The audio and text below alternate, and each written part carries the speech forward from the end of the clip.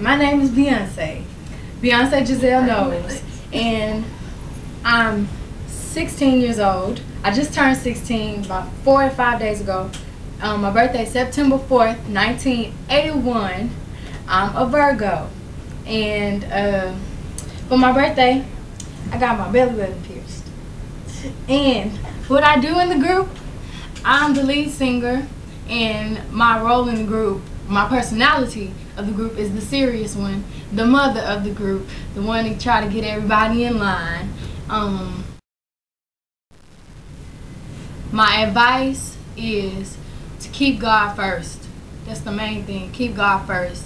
We go to church every Sunday together, and I think that's what gives this group the bond that we have.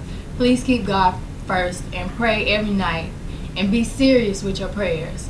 Also, stay humble. I know we're gonna stay humble. If you ever meet me, I have a little attitude, just slap me. Just slap me right back into shape.